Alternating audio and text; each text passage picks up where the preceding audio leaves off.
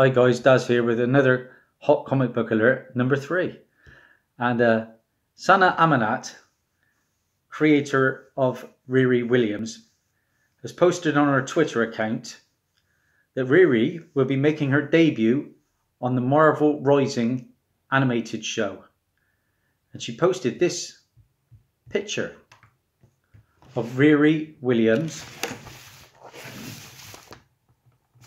in her pink costume.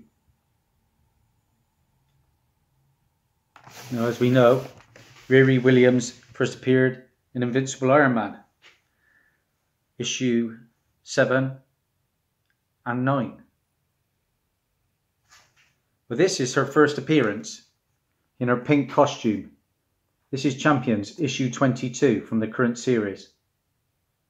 So look out for this, guys. I think this book is going to get hot. And as well as that, it's got the added bonus of Brawn.